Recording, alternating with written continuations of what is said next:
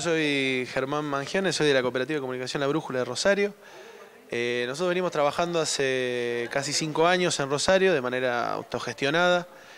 Em, la idea fue poder juntarnos con un grupo de trabajadores del periodismo, estudiantes, en torno a la necesidad de poder eh, producir contenido, ¿no? de tener un lugar donde producir el contenido.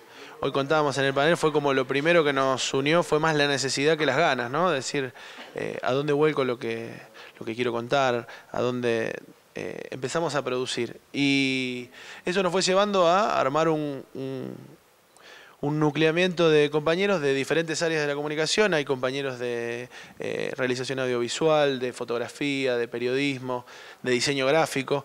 Y en torno a eso también fuimos como generando nuestros propios espacios para poder volcar ese contenido.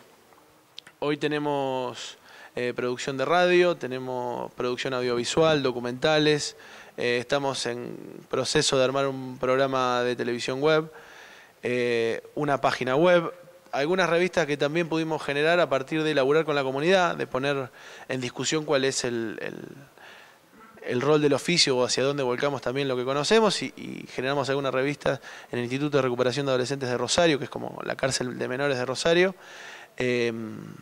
Y bueno, venimos llevando adelante ese laburo hace, como decía, ya cinco años y con la perspectiva de poder empezar a incidir eh, desde lo autogestivo en, la agenda mediática, digo, más masiva, siempre con esa perspectiva, ¿no? Poder llegar un poquito más allá con otro mensaje y con, y con la manera más profesional posible de, producirlo.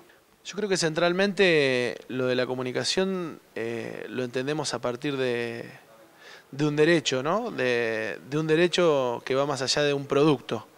Digo, en esta discusión de si es simplemente un producto y va a estar regido por el mercado y por esas leyes, o además es una necesidad que se cuenten esas historias. Digo, que están ahí, más allá de que las contemos o no.